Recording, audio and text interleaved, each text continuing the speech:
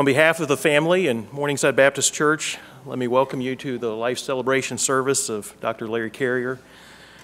He was a family member, a pastor, a co worker, and friend to so many of you. So we want to thank you all for your love and your support for our family. Let's go to the Lord in prayer. Our Heavenly Father, we do thank you for this opportunity to have a service, to Lord willing, give honor to you, to point people to the Savior, Jesus Christ, and to give honor to a man who gave his life to serving Christ. I pray that today's service would give comfort to the family and the church family and the friends who have gathered today. We ask that in your name. Amen. I had the privilege of a dual relationship with Pastor Carrier. I was a co worker with him as one of the pastors at Morningside. I was also one of his son in laws.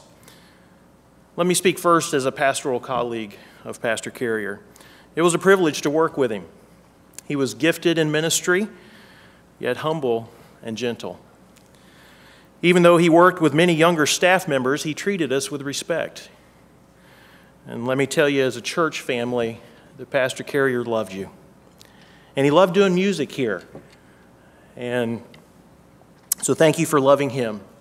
And who knows how many people over the years chose Morningside, in large part because of the music ministry uh, that we had here under his leadership. I want to express gratitude uh, to the staff and to the church for the opportunity that Pastor Carrier had to work with us all here together in ministry. Over the years, we were blessed to have him 28 years and eight months as our music pastor at Morningside. He definitely modeled faithfulness to God and Morningside Baptist Church. But let me now turn our focus to a small but privileged group. You see, we're not blood relatives of Dad Carrier, but we got accepted into the family by adoption or marriage and I'll be their voice as I share their personal tributes. I'd like to start with Maria Huang. Maria was Dad's personal nurse during his 20 month battle with cancer. And Dad just took her into his heart like an adopted daughter. I'd like to share a tribute for Maria. This past 20 months has been very special. Many may say that I have been a blessing to the carriers but the truth is, I received an undeserving gift from God, a better dad than I could ever ask for. God gave me a dad who connected with me at a spiritual level, coached me with his spiritual wisdom, and prayed for me. Dad loved me and cared for me and my feelings as one of his own. He always wanted me to make sure, he always wanted to make sure that I'd been treated right. Together, we've had serious conversations and goofy ones. We had fun times laughing as well as meltdown moments crying. He has been a true inspiration and a living testimony of what faithfulness looks like. It touches me, it excites me, it challenges me. Dad never complained. When times were hard, he would say to me, Remember, honey, God is still on the throne. Dad had the patience of an angel. Dad is a teacher at heart. Every time after we finished working on little projects together, he would ask me, Now, what did you just learn? Dad was always dressed well. He used to say that a man of color is a man of fashion. Someone shared with me going through the line that he was spiffy on the golf course. He was also good at golf, let me tell you. Back to Maria's tribute. Thank you, Dad, for allowing me to be a part of the difficult journey you were on. Knowing that there will be no more goodbyes the next time I get to meet you on the other shore brings great comfort. Dad used to call me his angel, and now he is mine. I love you, Dad. These aren't written in my notes, but I want to take a moment. Maria, I'd like for you to please stand. Our family and our church family, we owe a great debt of gratitude to this young lady. She gave countless hours and much love to provide care for Dad Carrier. Maria, thank you.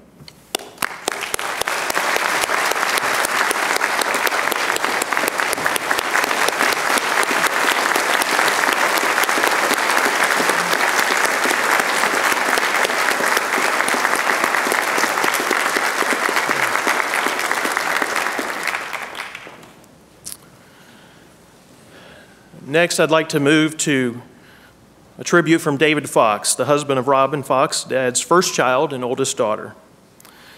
Recently, when, when visiting with Dad, I reminded him of the day I asked him for Robin's hand in marriage. I told him, I'm so glad you said yes. Not only did I receive a wonderful wife, but I also received a godly father in law. Whenever I think of my father in law, the first word that comes to my mind is humility. Dad had such wisdom and talent, yet he always presented himself as a humble and meek servant of the Lord. He was one of the most unassuming men I have ever met. Dad's passion and love for God and music were an inspiration to me. I loved it when he would tell me of a new song he discovered. He would begin reading the text, and before long, Tears would be streaming down his cheeks. He never got over the great love and grace of God that had saved him from his sins. I also think of the word competition when I think of Dad. I will always treasure the memories of playing golf with him. He played for fun, but he did play to win. I will also treasure the memories of watching football and basketball with him and discussing the various aspects of the game. He certainly had the mindset of a coach during those conversations. I could not have asked for a better father in law. I love Dad very much and will greatly miss our talks. But I am thankful for the blessed hope we have in Christ and that I will see Dad again one day. Next, I'd like to share a tribute from Julie Carrier, wife of Randy Carrier, Dad's second child and only son. Dad Carrier has always been a kind, understanding, and wise man. I was always delighted to see how he would include willing servants to minister in the church choir. He would often ask all of us to do or try things that we thought were not possible because he believed in us. He was proud of his grandchildren and their accomplishments. Fifteen years ago, Dad asked Randy and me to consider coming back to Morningside to help him in the music program.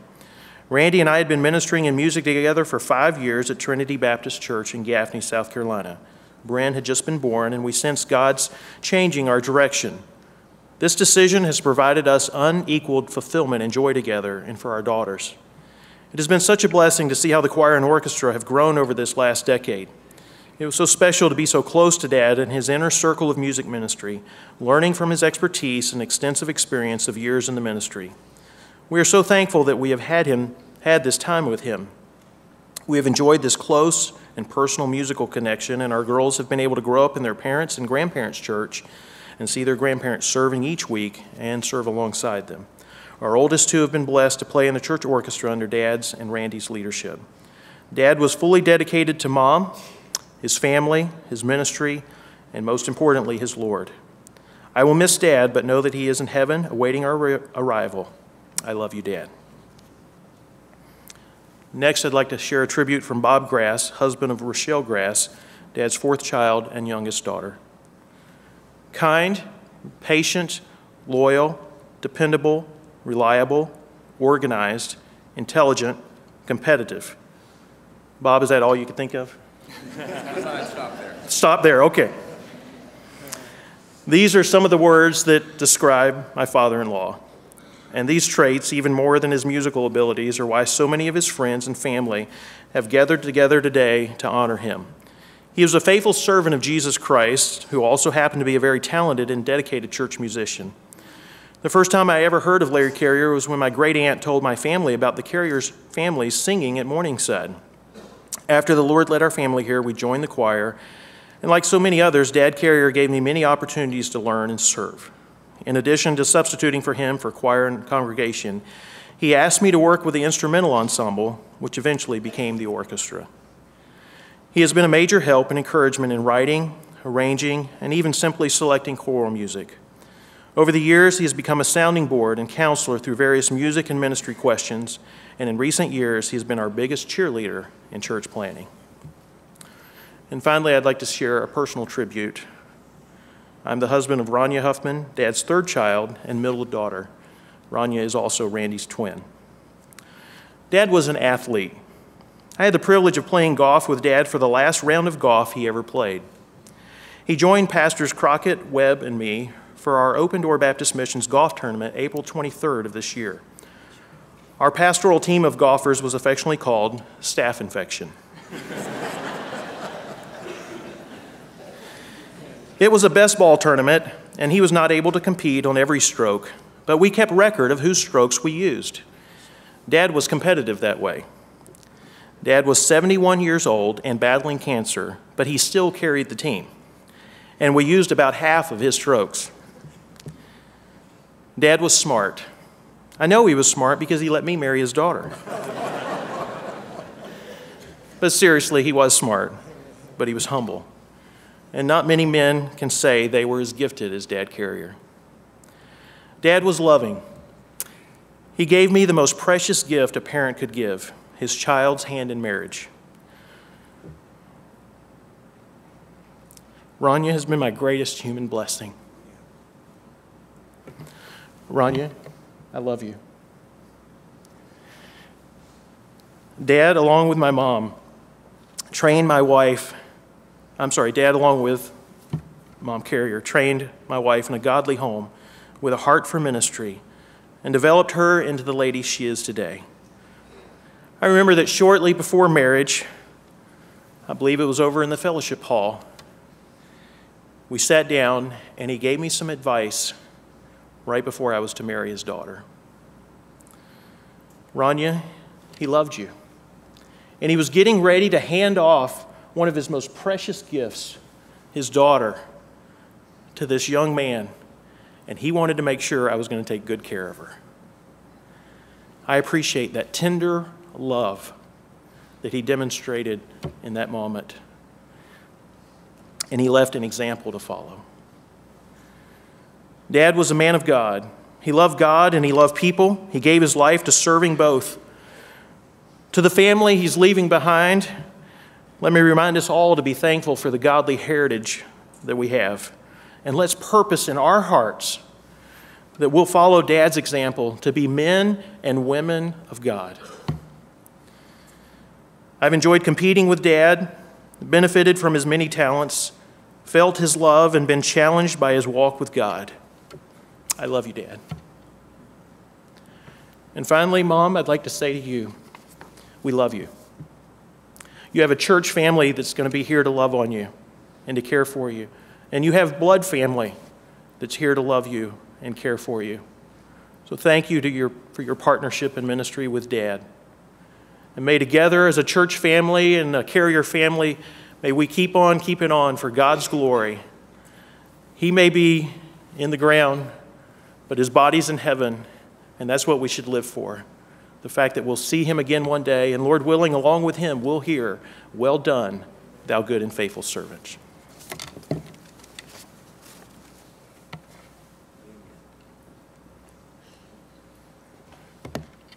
Good morning, and thank you for being here. I'm going to treat you all like a big choir this morning. Is that all right with everybody? We're going to sing It Is Well With My Soul because when peace like a river attends my way, and also when sorrows like sea billows roll. It is well with our soul because of our Christ and what he has done for us in saving us and in giving us daily grace to live this life. So, would you stand with me, please, as we sing, It Is Well?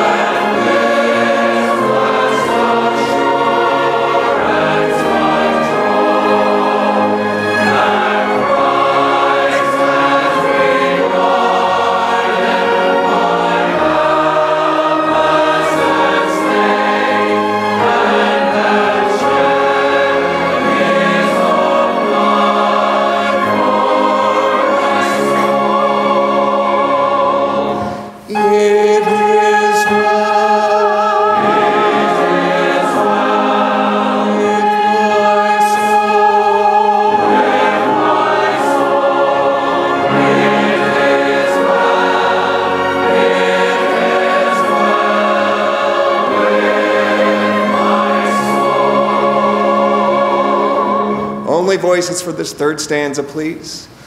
My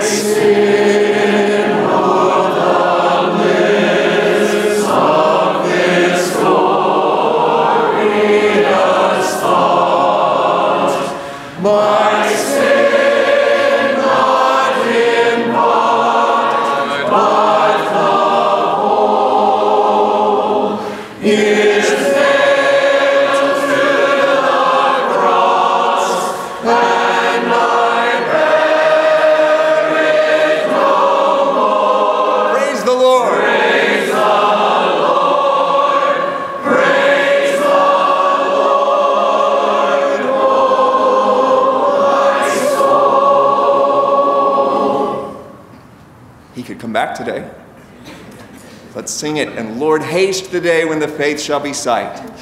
And Lord,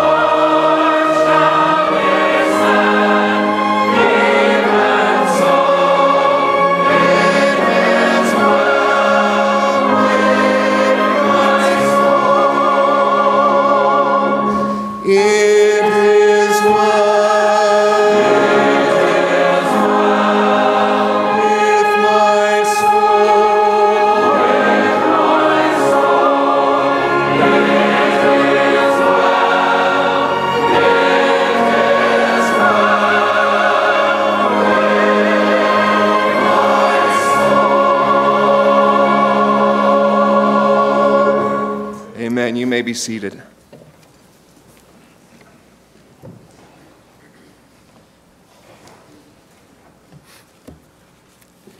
At the viewing last night, I told Rochelle she married a man very much like her dad, Bob. It's interesting how that happens. Multi talented, kind, gentle spirit.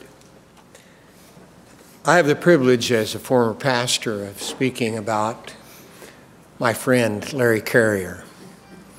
Is what I get to do. And so I just want to start today by saying after Larry's homegoing last Sunday, the Carrier children and grandchildren were gathered in the living room of the Carrier's home with Eni, sharing scriptures, singing songs of praise to God, shedding tears, and giving their testimonies of what Larry meant to them personally as a family member.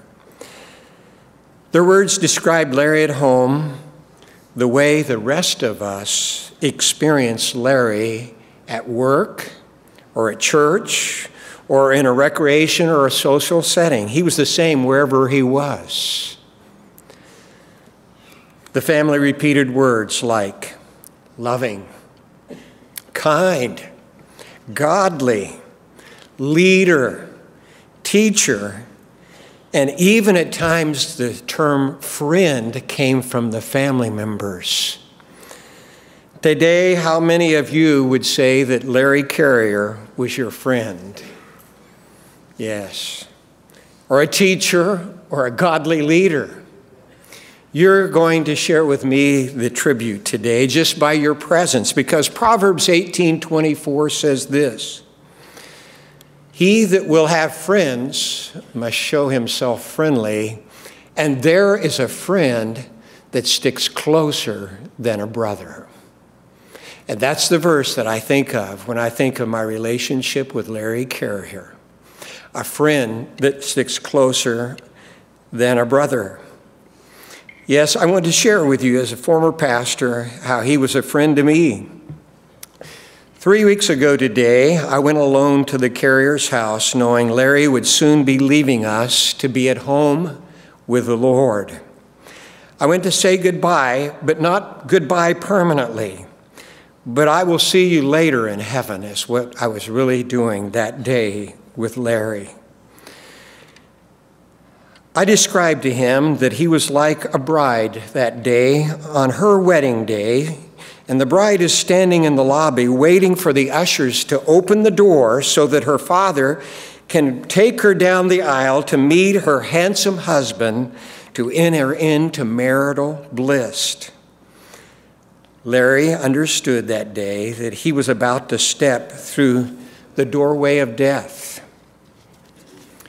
into the presence of the ultimate groom, Jesus. Yes, Jesus, the Lamb of God who died for Larry. The, Jesus, the great physician that healed Larry last Sunday from every disease. Yes, Jesus, the loving leader who will come and take all of his bride, the church, one day to live with him forever in marital bliss. Yes, Jesus, the King of Kings and Lord of Lords, whether it's over death, demons, disease, or whatever, he is King and Lord of Lord. And Larry saw him by sight last Sunday, not just by faith.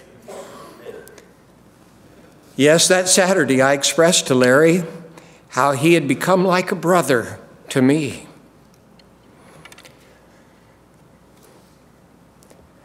I'm sorry, but it, this is going to be emotional.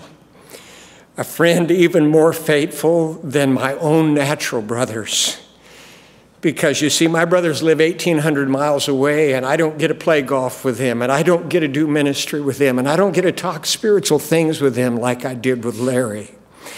I appreciated his faithful, loyal friendship to me, and I told him that day Larry's kind of friendship points us to God the faithful father that never changes. And Larry never changed. He was always the same as a friend. And he pointed me to God, the sacrificial son who laid down his life for his friends. And Larry would lay down his life for his friends. Yes, and God the Holy Spirit, I was pointed to him as well, that lives daily near us. And yes, even in us. And Larry would stay near you if you were his friend. I thanked Larry for his faithful brotherly friendship that day. When he would call me Brother Tony, he was telling me, I'm relating to you now as my friend. I cherish those words, Brother Tony. Our family got to know the Carriers over 28 years ago when they joined Morningside, and he asked Jeanette, my wife, 27 years ago to be his church pianist.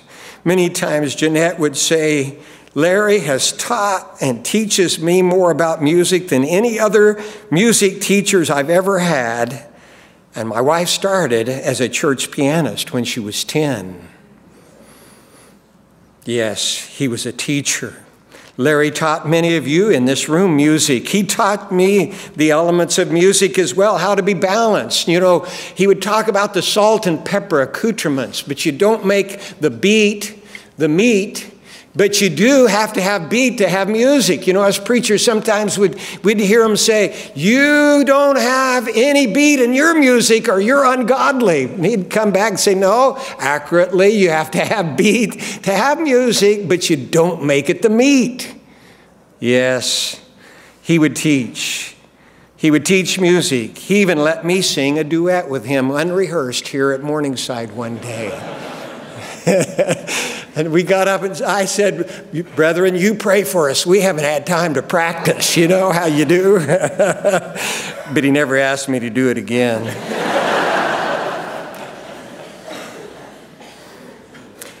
Yes, Larry taught many of you music, and he taught me the elements of that balanced music. He taught music to the choir, the orchestra. He turned our music program into one of the best in the country. I've had people come and visit here, and they would never say, You're the best preacher in America, but they'd say, This is the best choir in America. Yes. Yes, we see it. He taught music to his choir and orchestra, and he taught also godly character to the music members of the church.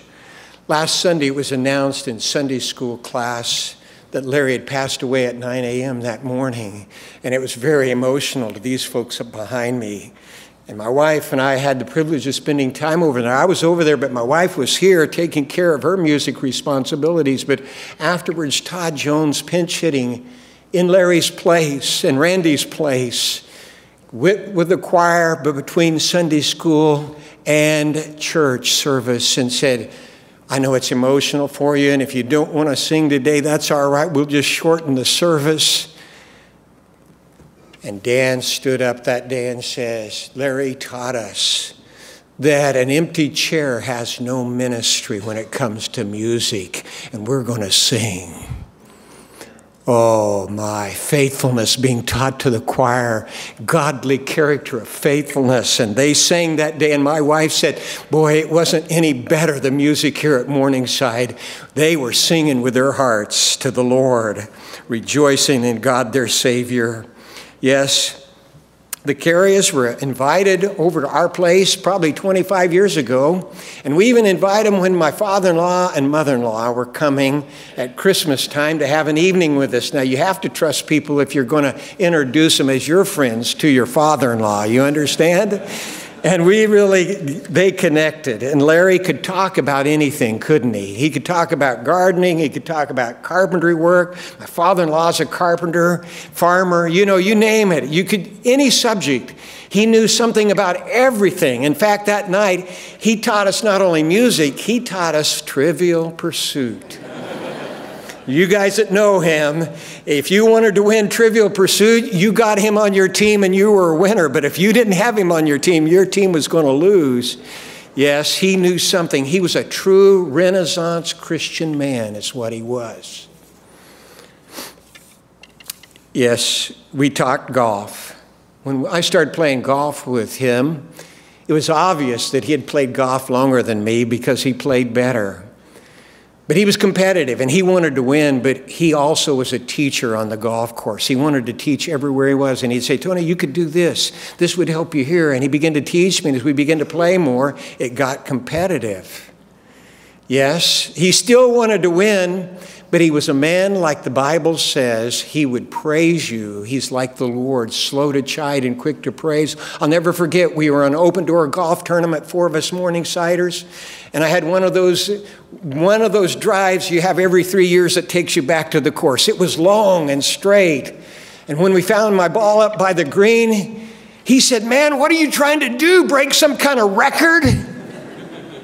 he would praise you a man of praise. He appreciated excellence even when it was found in his competitors. In fact, he not only was a praise man, he was a man of humor. I can still see his face, can't you? That little smirk and that chuckle that came out and the gleam in his eyes when something struck his funny bone. Yes, and I know there were times when I'd get on a roll and I was playing three under in our golf game. You say 300. I didn't know you played that way. Yes, three under a bush and three under the water and three under a rock, you know. And he would laugh at the crazy shots I would make sometimes. But he had humor. Oh, what a friend. He was balanced. You know, when young people ask about, I want a friend, but I, I can't find a friend. I tell them, be friendly and you will have friends. That's the paradox of life. Don't go seeking to get friends, go be a good friend. And I'll go to Proverbs 17 and 18 and 27 in those chapters, and there's about 11 or 12 of them. I was reviewing those and I said, Lord, Larry had all of those qualities. Look at him sometime. He wasn't a gossip, he unified friends. Proverbs 17:10, he would receive correction and suggestion. Sometimes I'd say, Larry, we need to do this. Yes, Pastor. He would call me pastor when he was respecting me as the leader and putting me in a position beyond just a friend. Yes, he would take correction, but he loved at all times. You couldn't count on him to love you when you were up or when you were down. He was not a person that offended brothers, but he would bring reconciliation into relationships. Things would get tense amongst church people. People would make critical comments, and he had a way of disarming people and making the truth conciliatory. Yes, he was faithful. He was a faithful friend. He stuck close to me more than anybody I've known as a fellow pastor and minister. He was not arrogant. He would praise. He did not brag about himself, but he would be quick to brag about what you did. He was willing to rebuke. You know, the wounds of a friend are better than the kisses of an enemy. And sometimes he'd come and he'd say, Pastor, He said, That's not accurate about music. Now, what you said there, no, that's not accurate. And he would kindly teach me the right thing. And you can take correction from a man like that. Yes, and he was a friend to my friends. You know, it talks about being a friend to your father's friends and a friend of your friends. And if you were a friend of his, he was going to be a friend to your friends. Yes, he was sensitive to people's time, space, and needs. He didn't rise up in the morning with a loud voice telling his neighbor, How's it going? You know, this the proverb says. He knew when you had to have space or time, or he sensed your need.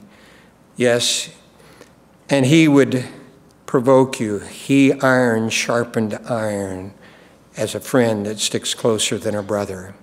I want to say in conclusion, he was a blessing to us. Three Saturdays ago, I told my friend goodbye. I will see you later. We cried together. And I concluded to Larry by saying, You've helped me as a pastor. he would call me pastor. And he was saying, I'll follow your lead. I'll respect your position. We're friends, but you're my pastor. Larry knew music. He taught me music, and I told him that. You helped our church worship with God and with music. You gave my wife the privilege of serving God with her music gifts.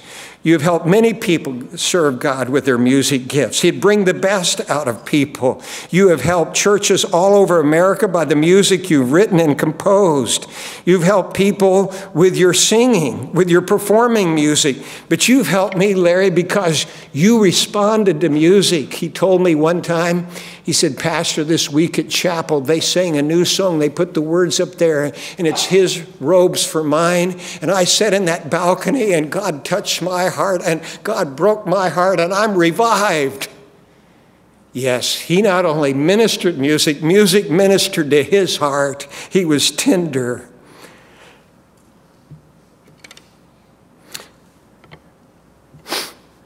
I want to thank you Larry is what I told him. I said, I would come into this church auditorium,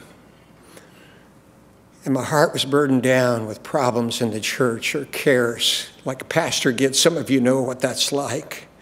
And I said, You'd bring the music and you would prepare my heart, and my heart would be lifted up to Christ, and I could preach Christ better because of the music. You got my heart ready to preach many a times. And with tears in my eyes, I said, Larry, thank you for preparing my heart as a preacher to preach the way God wants it to be preached. Thank you. So today, I just want to say this God, if it will make heaven today a better blessing for Larry, would you tell him there's a room full down here and there's a preacher here that wants to say, Thank you, Larry, for being a friend. Thank you for being a helper. Thank you for being a man of God to us down here. You've made us want to be more like God, a friend that sticks closer than a brother, a friend of sinners, a lover of good people, good men. Let's pray.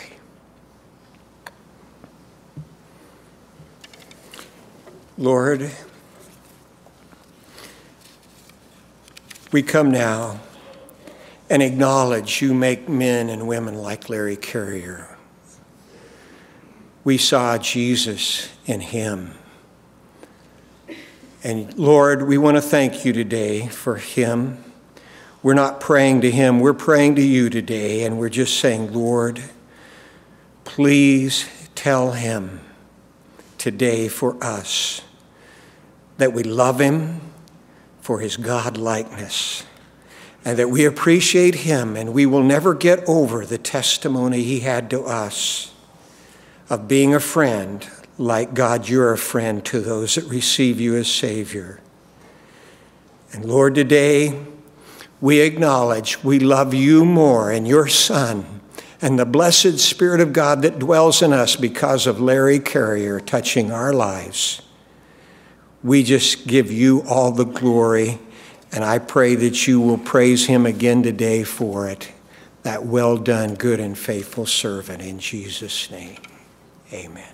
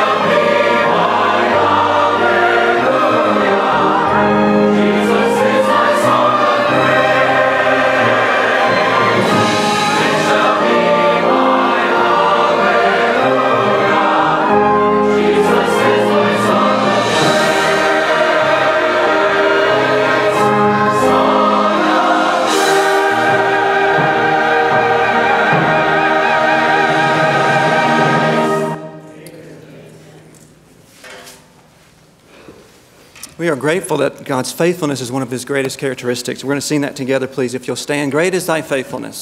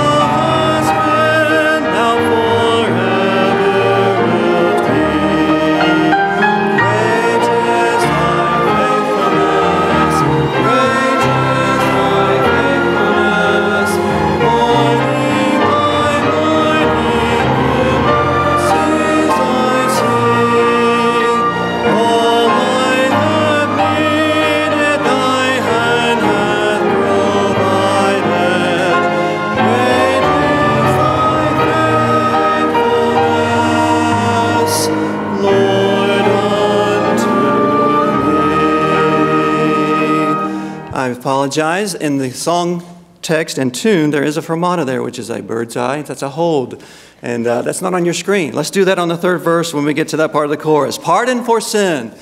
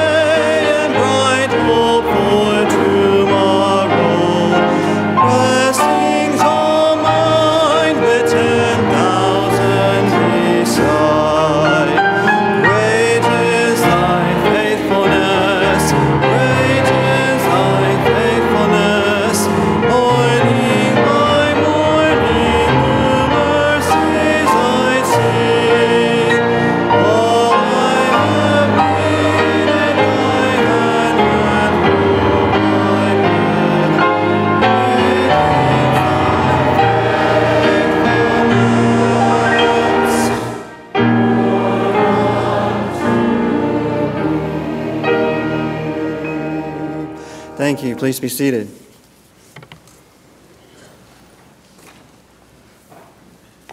On behalf of my mom, my sisters, and my family, I want to thank you, each of you who came today to express your love for our family and to remember God's blessings to us through Dad's life and ministry. One of the greatest testimonies we share today about Dad is the fact that most of you in this room could share your own personal story of how Dad impacted your life in some way. Our lives are measured not by what we have done or accomplished for ourselves, but in what we have done for the cause of Christ and for others. By God's grace, I am thankful for the lasting legacy that Dad has left us to steward for God's glory. Please allow me to share memories from each of us children and mom at this time. And as I was looking at their subscriptions to me and listening to what has already been said, I thought, Lord, there's a lot of repetitive repeat, but that's who he was. And we're sharing it in, in our own different light, so I'll try not to belabor too much. A remembrance from Rochelle. Dad was an amazing man and father. God blessed him with numerous talents and abilities, but he never lorded his gifts over others. His teacher's heart was patient and kind. He was a tender and fun loving dad. We, as his children, enjoyed the benefits of a man who had his internal compass set towards Christ. As a young man, Dad's singing ability opened stage doors for him. He had the opportunity to pursue a career in the limelight. However, he had the wisdom to discern that those doors might lead him to live a life that was more about him than the Savior he served. So he cho- chose to minister in church music instead. That decision is why we gather in this church today.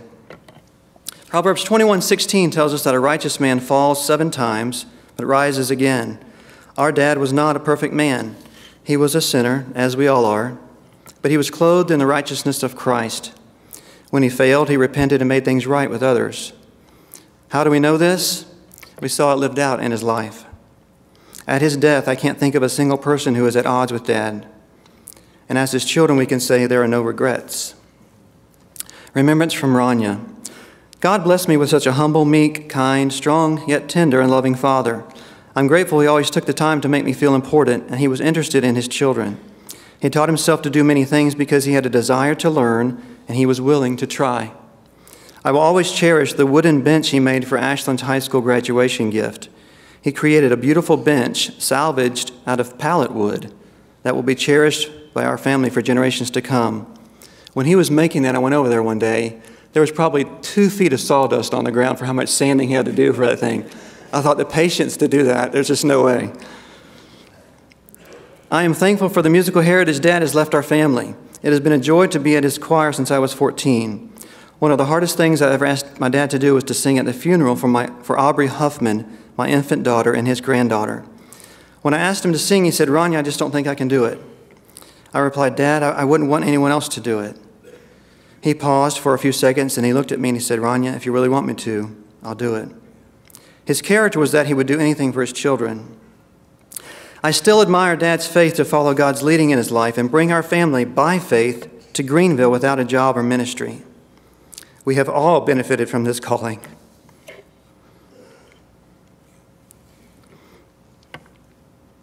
As my dad has now gone to be with the Lord in heaven, I can only imagine what joy he is experiencing with our Heavenly Father and loved ones. I can only imagine that God may have given him the opportunity to lead the heavenly choir. I look forward to joining that choir and singing along with Dad for all eternity. I love you, Dad. Remembrance from Mom. As a Christian young woman, I prayed that if it was the Lord's will, He would allow me to marry a pastor or a music pastor, and God gave me the desires of my heart. Married in 1966 and blessed with four children, Larry and I prayed our children would receive Christ at a young age and purpose in their own hearts to live for God and seek His direction for their lives. Larry and I are blessed and thrilled that our children and now our grandchildren are walking in God's truth. As our children grew, Larry and I made it a point for the whole family to sing together at church and share a part in his ministry. A most powerful lesson to our children was the direct answer to specific prayer. Even in difficult times, our children learned to trust God and rely on Him to meet all of our needs. I always supported and encouraged Larry in both good and difficult times. It was important to us to seek God's will together for life and ministry. God has blessed our family beyond measure and has given us the desires of our heart as we yielded our desires to Him. We give Him the honor for His help, grace, and guidance. Romans 11:36 says, "For of Him and through Him and to Him are all things."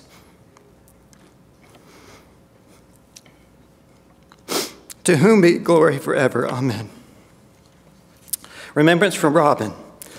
Proverbs 26 and 7 says, Most men will proclaim every one his own goodness, but a faithful man who can find? The just man walketh in his integrity. His children are blessed after him. I believe these two verses accurately describe Dad's character.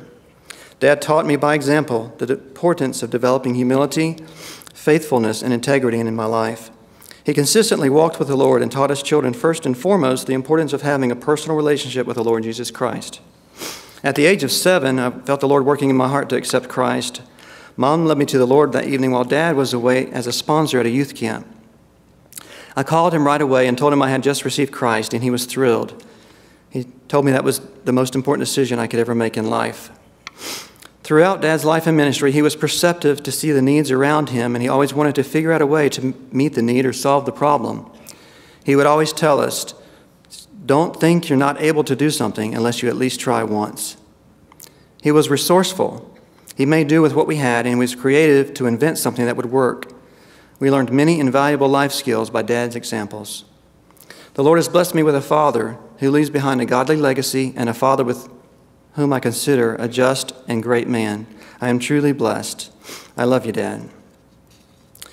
This is for me. My sisters and, my sisters and mom nominated me to speak on behalf of the family today, and I told them to prepare two or three paragraphs to share about Dad.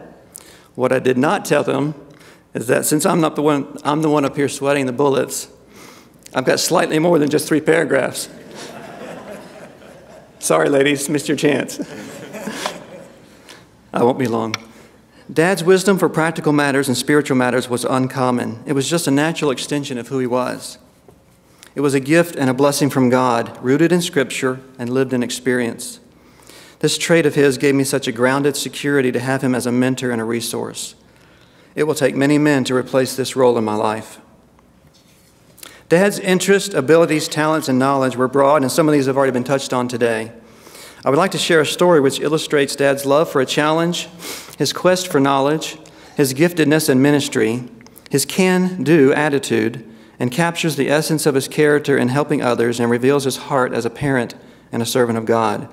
While serving as the music pastor at Good News Baptist Church in Virginia, if my memory is correct, Dad convinced the pastor and the staff that if the church purchased a printing press, it would save money over the years in printing all their materials in house and they would have unlimited opportunities to print what they wanted when they wanted it. These were the days before computers or desk printers were commonplace. Of course, Dad would have to learn everything about printing, from building a darkroom, learning design and layout, copy editing and typesetting, developing negatives, shooting plates and camera work, and installing and running a press. But he never turned down a good project opportunity and a challenge. He was a fast learner. He was skilled at carpentry. He was a good writer. He had great patience and attention to detail. And oh, by the way, he was a perfectionist. so he convinced them. If Dad had an interest and took the time to read and study about a trade or skill, it seemed he could do just about anything. For some of the years that we lived in Virginia, our house was across the street and several hundred yards from the church. This was great because as a young boy, I could go visit Dad at work and take him lunch sometimes and just learn what he was doing. One day I went to visit Dad and I went to his office and they told me he was in the printing room. So I went down the hall and I didn't see him in the large printing room, so I knew he was in the little room. I abruptly opened the door to the dark room and then my 10 year old inquisitive voice said, What you doing, Dad? Dad was bent over a counter with trays of negatives floating in processing solution, and he slowly stood up. In a calm but measured and dejected tone, he said to me, Well, son, I was just trying to finish up three days of work to print the church newsletter. But now that you're here, I get to do it all over again. Ever the patient father and teacher, he took me out of the dark room and turned me around and looked at the front wall. See that light on the wall there, son? He said, pointing to a red light. Yes, sir, I replied. Well, Randy, red means caution or be alert. Red means stop. Red means do not open that door. I had cost him not only valuable work time, but expense to the church and materials as well. It was the one and only time I ever made that mistake. Looking back to my shame, I think I probably would have reacted differently as a father than he did that day. But he taught me much more than red means stop in a three minute lesson about how he handled that situation. Finally, to all our choir and orchestra members here today, I want to finish with some well known quotes for which Dad was known. He loved his ministry with you all. It was his joy, his passion, and his purpose in life. We all learned so much from him. I was going back trying to remember how many years I'd been in his choir, and then I thought, well, he started taking me to choir rehearsal at age four, so I've had the privilege of attending over 1,500 rehearsals with him. So I've heard just a few of these once or twice in my day. You all know the first one by heart, so say it with me. An empty chair has no ministry. The lesson here is faithfulness is the most important requirement in service. Number two, you should always know where do is. Speaking of the musical solfege syllable system to learn this music scale. Number three, sopranos. I apologize ahead of time for this section of music, but you do not have the melody. You are actually going to have to sight read music this time. he would say that with a laugh. Sopranos mostly always have the melody. Number four, stand your ground, altos. Those tenors are clashing right beside you. Don't let them get you off your pitch. Number five, please follow the bouncing baton. As much as it looks like it, I'm not here just to get my exercise. Number six, have a sense of where you are in the music and anticipate what comes next. Number seven, you're the best choir and orchestra I've conducted this week. the only one he conducted that week. Number eight, Think the pitch, don't hum it. Number nine, this piece is not difficult. I know you can do it, or I wouldn't have ordered it. It may take hard work, but it is not difficult. Number 10, one more time. He did this often to reinforce and repeat a section of music to make sure we had it. Dad was gracious to share his love for music, his love for the faithful choir and orchestra members at Morningside, and even his baton with me. But most of all, he wanted me to share the musical blessings he had received. I will forever be indebted to him and grateful to the Lord for the faithful, gifted father that he gave me and the vision Dad had for us to minister together. Thank you.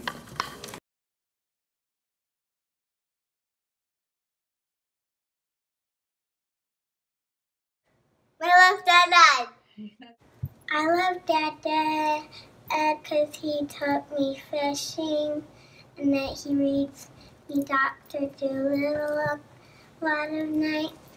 And sometimes he does magic tricks for us.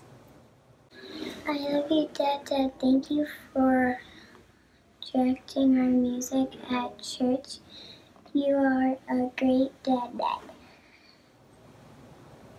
I really like about Dad Dad that he could practically build anything and that he helped me eh, build build a wooden car once. And I really liked his magic tricks. Hey, Dad, Dad. One of my favorite memories is when you appeared at my seventh birthday party doing magic tricks, and it was really fun. I love you, Dad, Dad.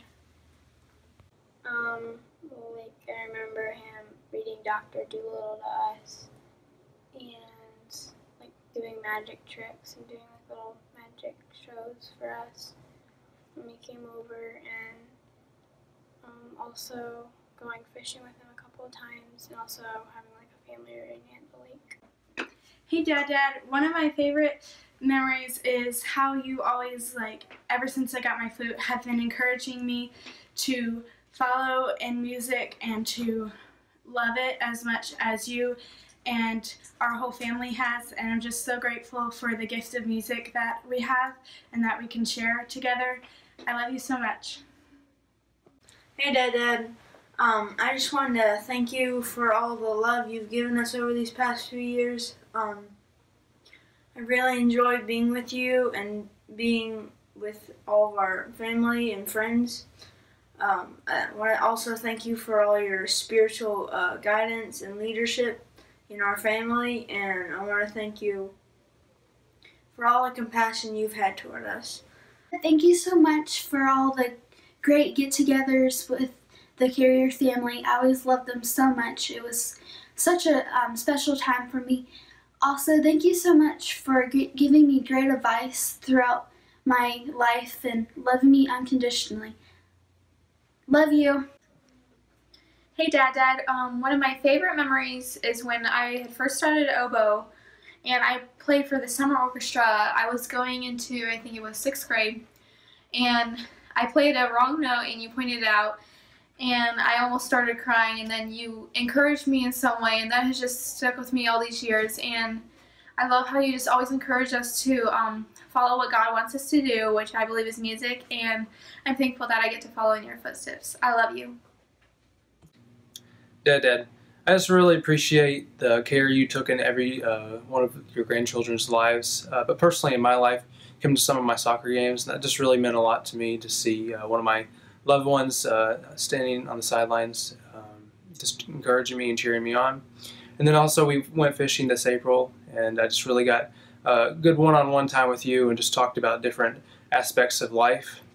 In one instance, uh, we our fishing lines got uh, crossed up and it took a while to get them uh, un- undone. But you were just so patient, and um, you were like, Austin, we'll be all right. And then another thing is we went golfing a few times, and that was just really um, a special time as uh, you tried to help me become a better golfer, as I know that was um, your main sport. So really appreciate you, Dad, and I love you. Hey, Dad, Dad. Um, thank you for all the love and encouragement that you've given us grandkids and for all the members of your family. We thank you so much for the example and the encouragement that you've given each of us to follow the Lord and have a closer relationship with Him. And we thank you so much for all the musical instruction. I know that's a big help for me going into college studying music. And I really appreciate it so much. We're praying for you and we love you so much. Granddad, one important characteristic trait that you have taught me over the years is that of patience and he began teaching me this trait when we started playing Phase 10 together. I believe I was about 11 at the time. You uh, recently had some eye surgery, and so during the time when you were allowed to wake up, you would teach me how to play Phase 10. And I remember during one round, there was a wild card placed down, and it was my turn to go first. And you said, Ashlyn, pick up the wild card, remember how to play it. And to me, that was just one of the most memorable moments for me, just because I love playing that game with you, and you taught me how to play each phase, and you're so, so patient in teaching me the rules and the regulations, and I really appreciate that about you. I've also really appreciated the musical impact that you have had on my life. I believe I've been playing percussion for you since I was in seventh grade, and you would oftentimes um, help me listen to a snare drum part and help me understand the rhythm and the beat and how to play it. And oftentimes you would wink over at me at the percussion station, and that just really motivated me to keep on going and keep on playing to the best of my ability. And I really appreciate that. I love you, Granddad. Thank you.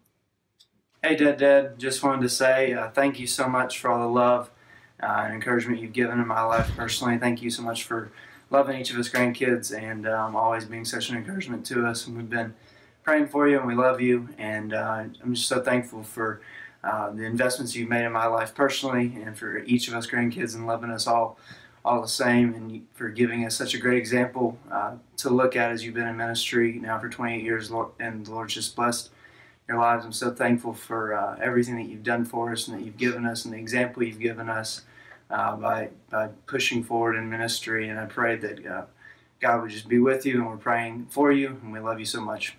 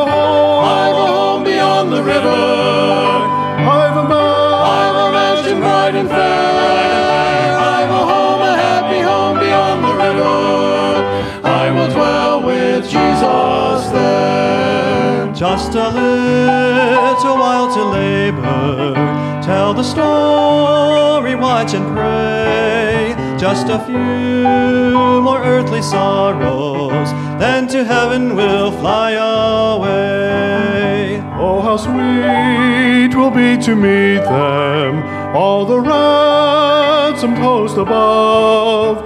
Sweeter still to see the Savior, praise Him for redeeming love. I've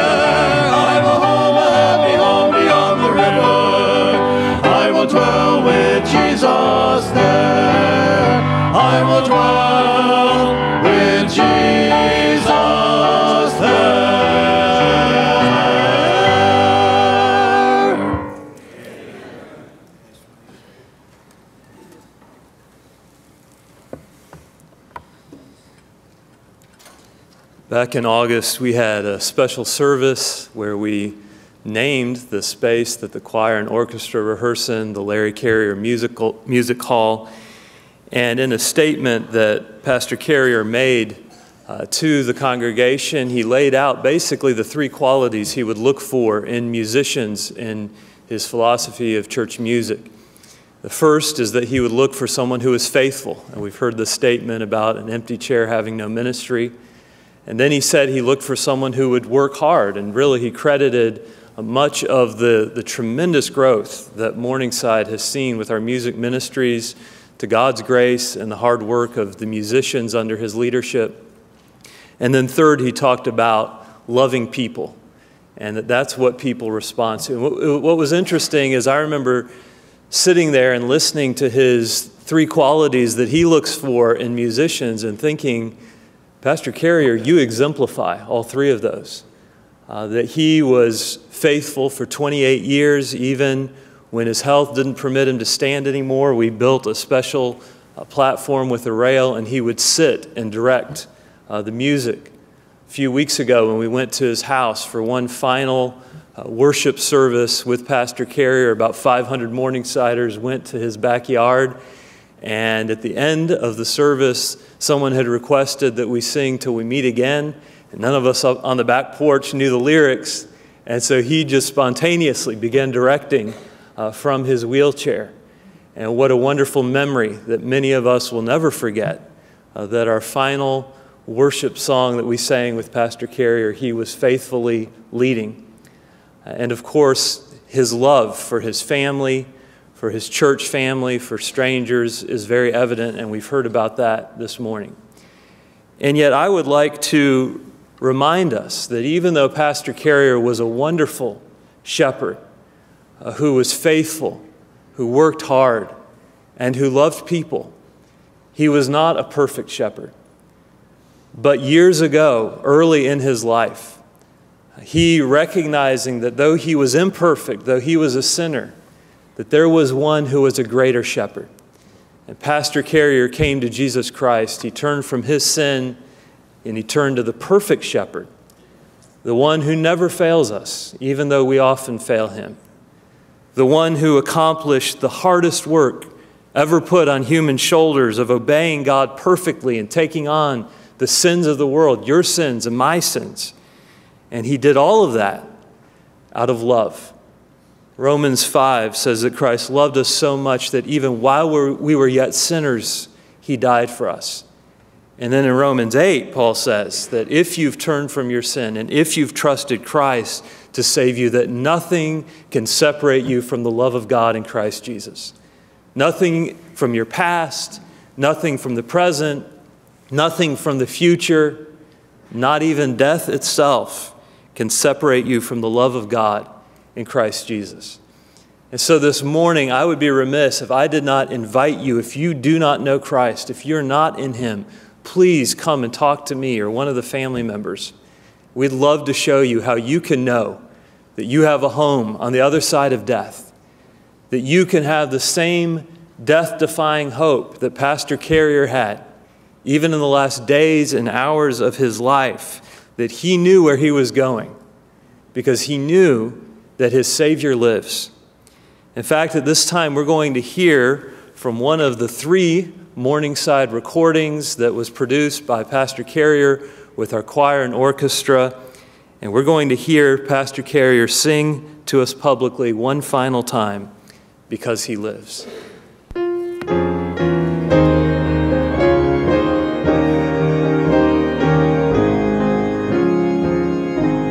God sent his Son. They called him Jesus. He came to love, heal, and forgive. He lived and died to buy my pardon. An my Savior lives. Because he lives, I can face tomorrow. Because he lives, all my fear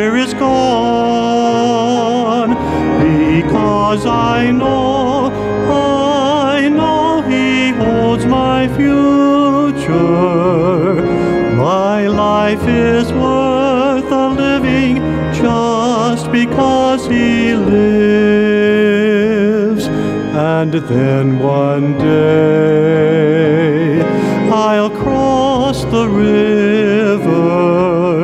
I'll leave this life with all its pain. And then as death gives way to victory, I'll see the lights of glory and I'll know he reigns because he lives. I can face tomorrow because he lives. All my fear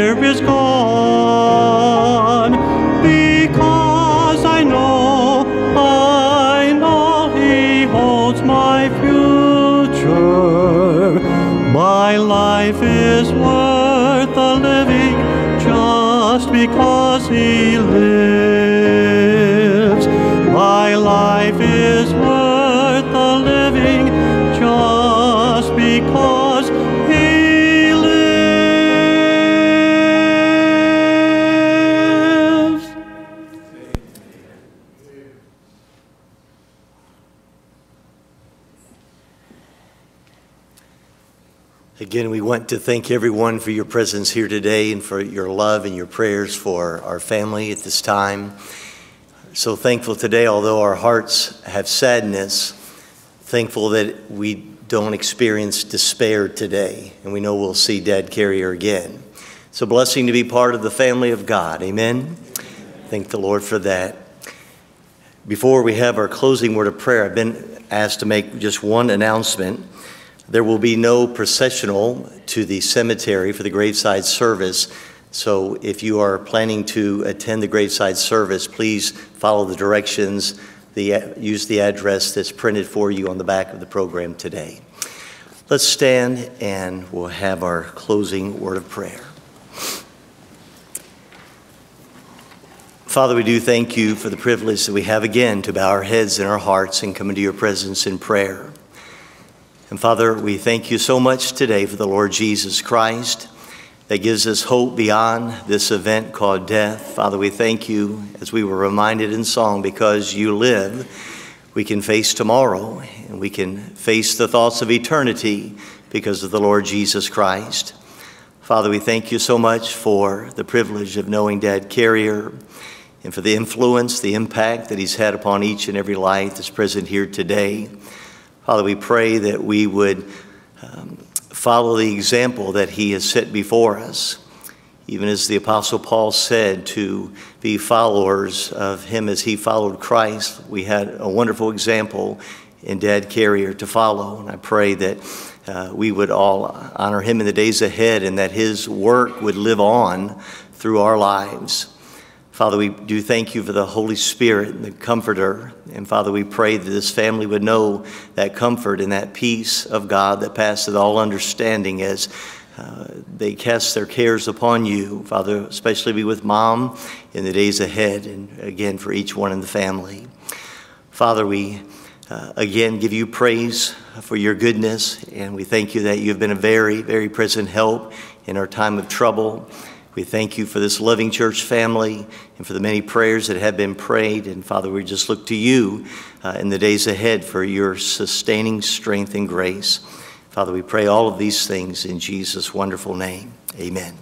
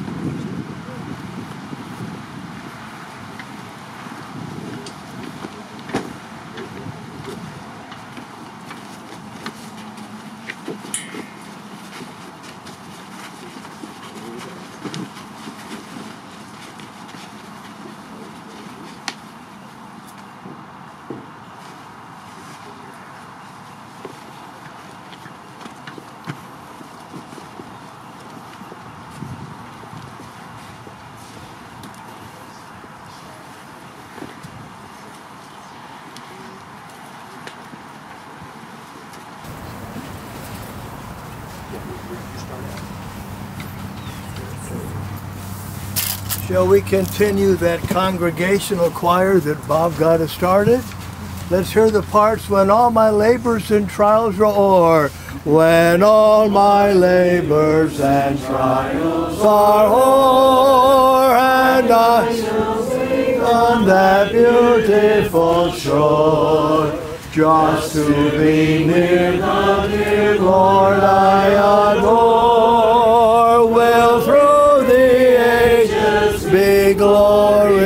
For me. All the parts now. All that will be glory for me. Good, glory for me. Glory for me. When by His grace I shall look on His face, that will be glory.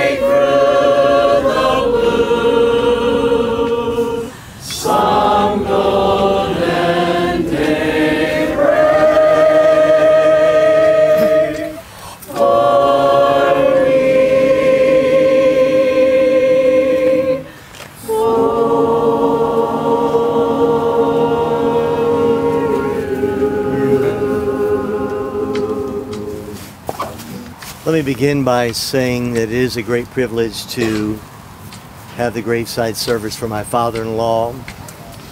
I was certainly blessed to be one of Larry's son-in-laws and again thank the Lord very much for this opportunity and just for the impact and influence that he had in my life. We could have not asked for a godlier example and again I'm very thankful and we will miss his kind and godly spirit and example.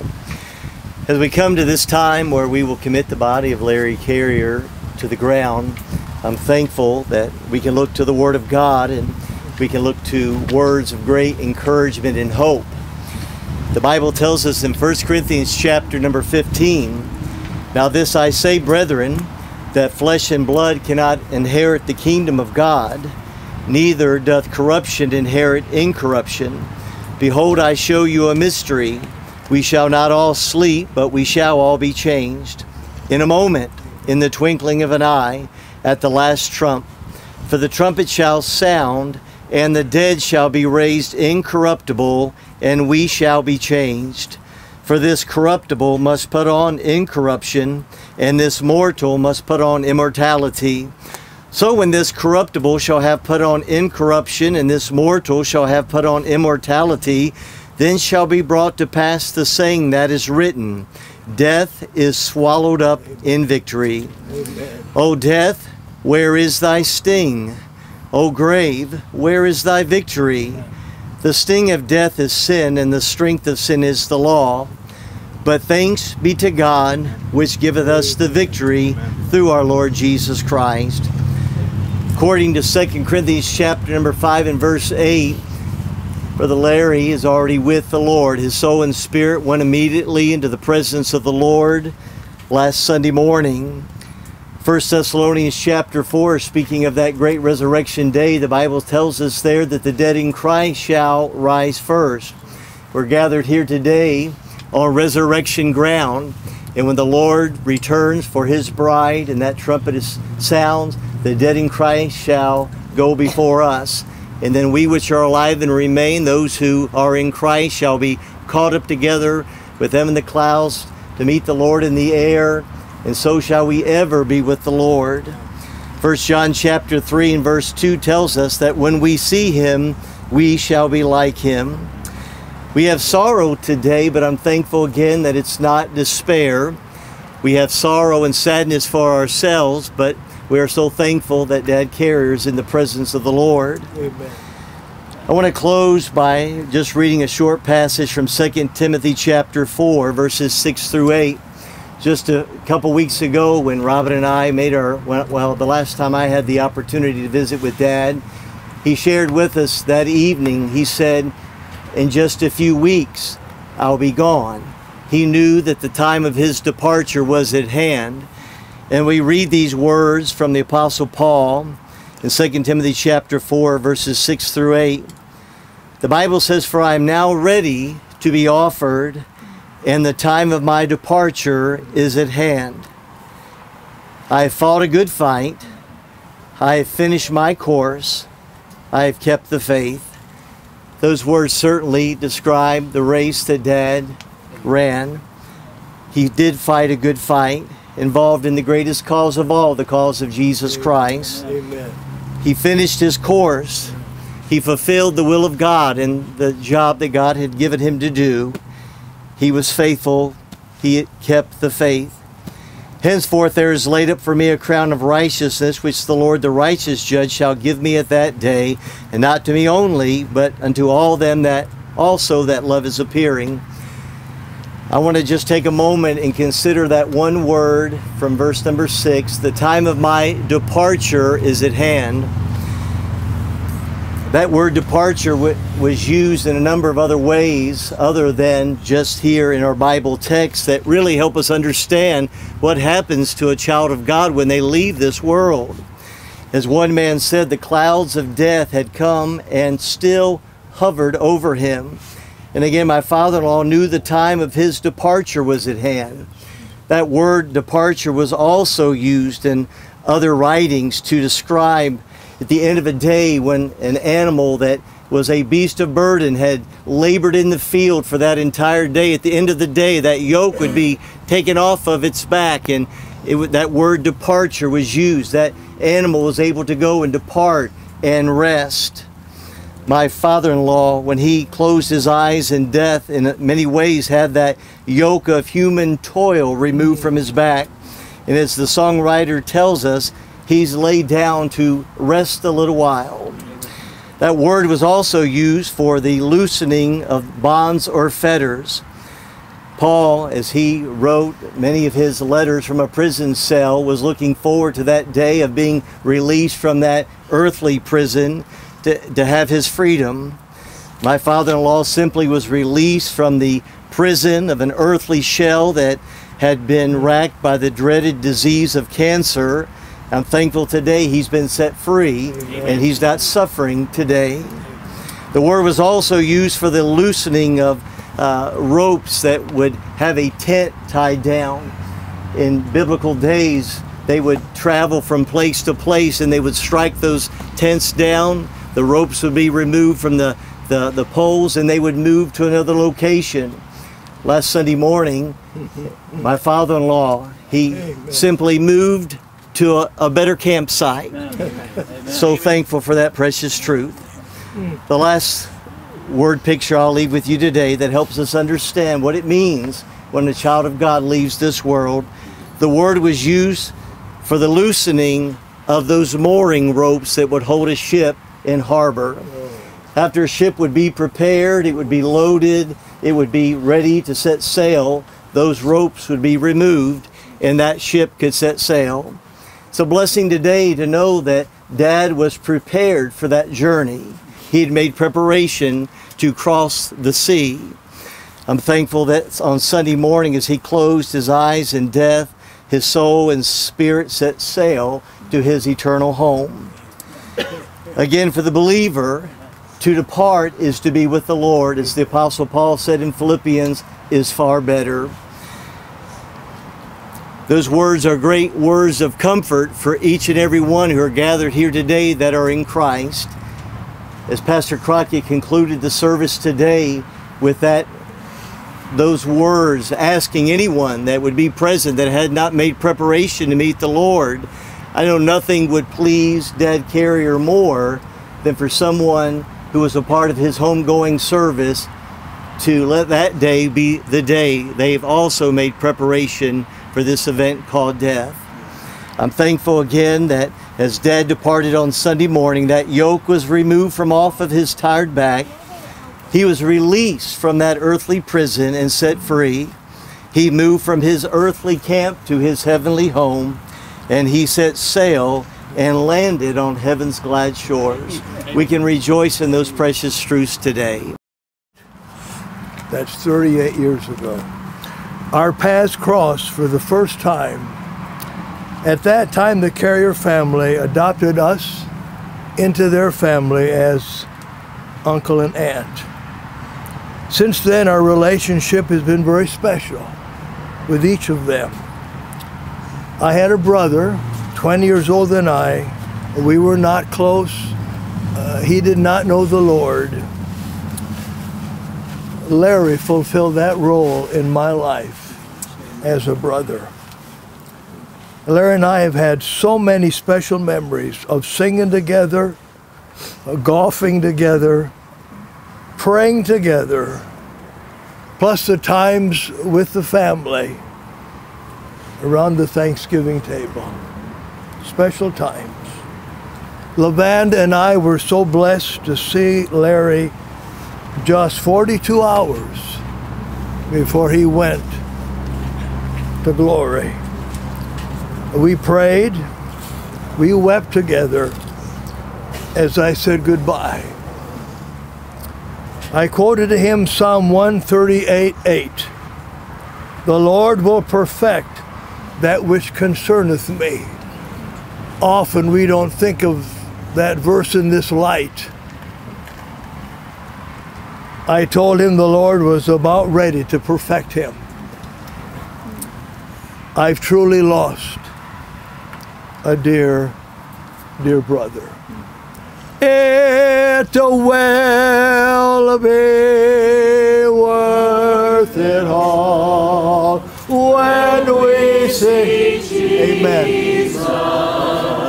Life's trials will seem so small when we see Christ. Glimpse of His face, all sorrow will erase. So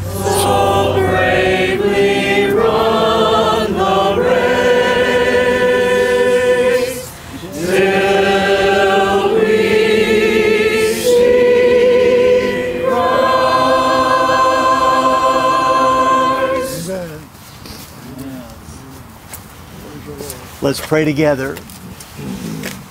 Father, again, it is with a heart of thanksgiving that we come before you. We thank you so much that Dad Carrier had made preparation to meet you and he is at home with the Lord. Father, I pray that our hearts would be encouraged and comforted with those precious truths, knowing that through Jesus Christ we will see him again one day.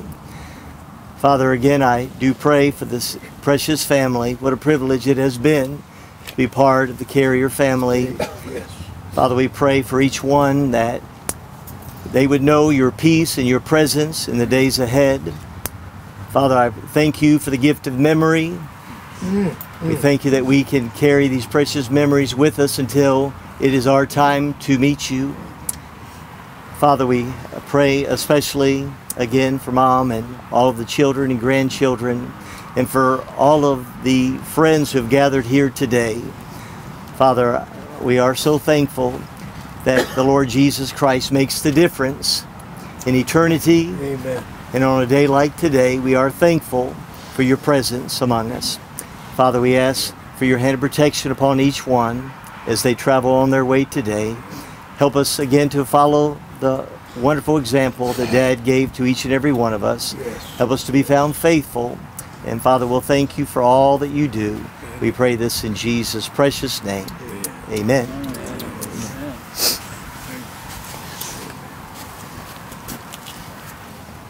In your time of loss, I asked Larry, heart to heart as a brother, in his cancer battle, I said, What has God taught you through this? And I wasn't asked to say this, but I just got to say it. And he said, Brother Tony, God is good always. Amen. Amen. Yes.